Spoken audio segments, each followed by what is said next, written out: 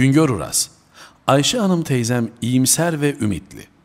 Ayşe Hanım teyze ve Ali Rıza Bey amca iyimser ve ümitli. Bu seçim öncekilerden farklı bir seçimdi. Seçmenler yeni yönetim sistemini ve kadrolarını oluşturmak için oy kullandılar. Seçmenler yeni yönetim sisteminin özelliklerinin ve önceliklerinin farklı olacağını biliyor. Bekleyişleri yeni yönetim sisteminin ülkeye iyilikler getirmesi, yeni yönetim sisteminin ekonomide iş ve aş imkanlarını iyileştireceğine inanılıyor. Seçim öncesi dönemde yurt dışında ve içeride esen olumsuz rüzgarlar tüketicisinden yatırımcısına, üretimcisine herkese etkiledi. İnsanların önlerini görememeleri de ekonomide yavaşlamaya yol açtı. Seçimin yararı ülkede uzun dönemli bir istikrar döneminin kapısını açması olacak. Seçim öncesi yeni yönetimde sorumluluk alacaklar çok farklı vaatlerde bulundular. Bunların tamamının kısa sürede uygulanması imkansız. Yeni yönetim için de seçim vaatlerinin yükünden kurtularak gerçekçi politika ve uygulamalarla ekonominin güçlendirilmesi önem taşıyor. Hedef enflasyon. Bu sözleri ve vaatleri verenler kadar bu sözleri vaatleri değerlendirenlerin de seçim öncesi ortamın özelliğini dikkate alarak gerçekçi olmaları beklenir.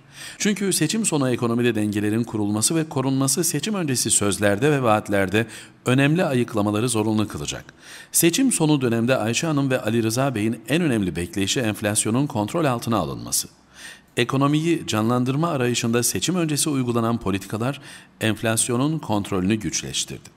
Seçim döneminde gündeme gelen vaatlerin tamamının gerçekleştirilmesi enflasyonun kontrolü imkanını yok eder. Enflasyon hem bu ülkede yaşayanları hem de ülkeyi fakirleştiren bir süreçtir. Enflasyonun arkasında birçok neden var. Ayşe Hanım'la Ali Rıza Bey için önemli olan nedenleri tartışmak değil, enflasyonun aşağıya çekilmesi. Yatırımlar hızlanacak. Yeni dönemde güvenleri artacak. Önlerini görecek girişimcilerin yatırımlara başlamaları, yatırımları artırmaları büyük önem taşıyor. Yatırımların artması kısa sürede ekonomide canlılığı uzun sürede üretimin artmasını sağlayacak. Genel bekleyiş tarımda sanayide üretimin artırılması. Geçen yıldan bu yana süre gelen büyüme hızının korunmasıdır sınır ötesi sıcak çatışmaların ve terör odaklarının kontrol altına alınması, yaşamda normalleşmenin yolunu açıyor. Amerika ve AB ile siyasi ilişkilerdeki iyiye gidiş, ekonominin kaynak sorununun çözümünü kolaylaştıracak. Yatırım ve üretim artışı istihdamda artışı hızlandıracak, bütün bunlar daha iyi yaşam ortamının kapısını açacak.